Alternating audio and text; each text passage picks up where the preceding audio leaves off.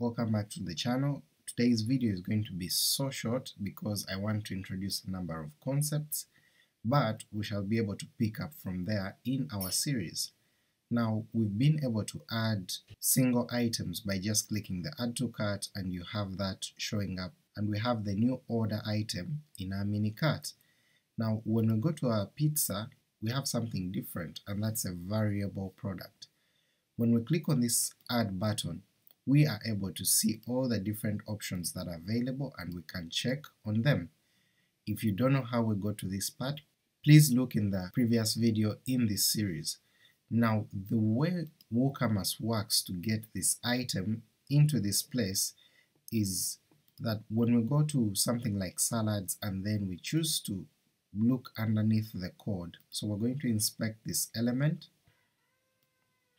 we'll see that we have this button and it has something very simple. It has an href that adds a question mark right here, and then we have the add to cart 44 which is the ID of this particular product. When this button is clicked, you realize that it runs to this particular link. And it's the same thing that we're going to do if we want to have our order pizza, click on this button, we should be able to get all the different IDs of what we've checked here and then run them through this particular URL. So for example, I'm just going to go back right here into my code, I'll open up the editor, and we're going to realize that each one of these inputs I am able to actually get the variation ID because we already have it here as a variable.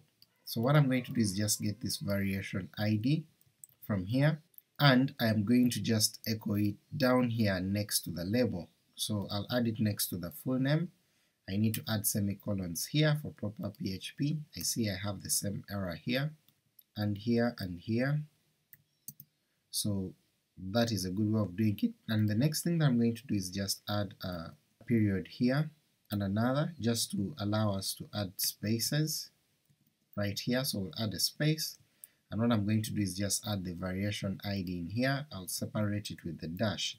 I'm going to save this, come back here, reload this,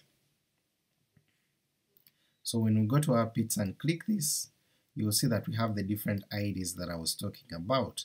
So I'm just going to choose this medium extra cheese, which is 29, and I'm going to go to this URL, and I'll add 29 here. When I hit enter right here, you'll see that my page refreshes, and you're going to see that we have this barbecue pizza medium extra cheese showing up right here. Let me do that again so that you can see another example. So I'll choose the large extra cheese which is 32, I'm just going to hit 32 right here, and you'll see that we have all these other items showing up inside our mini cart. Now that's what we need to do. Every time we go to pizza, click the plus button, mm-hmm. when we choose the different items here, and we click on our add to cart button that I'm going to place here, it should be able to use JavaScript to trigger the event, and this is going to lead us into a whole maze of something that we call Ajax. Ajax is just simply having JavaScript send data asynchronously that is in the background without interfering with the display or the behavior of our existing page. Now I have used a number of terms that might seem so big, but in simple terms it is going to get our data without reloading the page and then move different functions all together so we're going to have JavaScript working with our PHP to send data into our cart. So that's the next thing that we are going to do. For now let's first add our add to cart button right here. Now if we wanted to be very simplistic in nature, we would add an add to cart button in every one of these locations. And what do I mean by that? We'll just come here to our label, the next thing that I'm going to do, because we have a break tag here, I'll move this down, and I'm going to add just an A tag with an href, just like we had before in our viewing of the code when we came down here and we inspected the A tag, we can copy actually this HTML, so I'll edit, copy this, and then just bring it back to my code here, I'll replace this, and you're going to see that all we need to do is make this number dynamic right here. So I'll add some PHP here, PHP, and all I'm going to do is echo, and what I need to echo is this variation ID here. So I'm just going to cut this, clean this out here, and I just need to paste this PHP here, and you can see that actually we have a little bit of error because we do not close this PHP right here. So I'm going to save this, and when I come back to our page, reload this, come back to pizza, click this icon, you'll see that we have this add to cart showing up here. Now this is not a good way of having a user interaction with our website. Yes, it will allow us to add the extra medium cheese, and you'll see that that medium cheese is actually here. We now have two pieces instead of one. If we go to pizza, click this margarita, and choose the medium pepperoni for margarita, I'll click add to cart, you'll see that we have that showing up here again. It works, but it's not a very good user experience to just have all these here.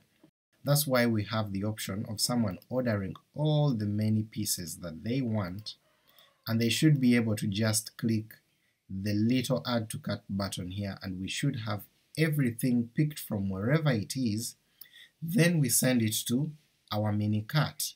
That's the next step we're going to do. So this works very well, you could use it as an option. You've seen it, we can add the small olives by clicking the add to cart, and it shows up but that's not the best user experience we can have. So in the next video, we are going to be able to click our pizza, click this icon, and then choose the different versions that we want. Click the add to cart button here that will loop through all these different products that have been checked, get their IDs, then we shall use Ajax to just run those products into our mini cart. Let me know your questions in the comments, would you prefer to just use this to make your work easy, or do you want to go the whole mile by allowing us to check these boxes right here and add the products? Otherwise, if you enjoyed this video, don't forget to give it a thumbs up, look out for the next one, don't forget to subscribe, I'll see you in the next video.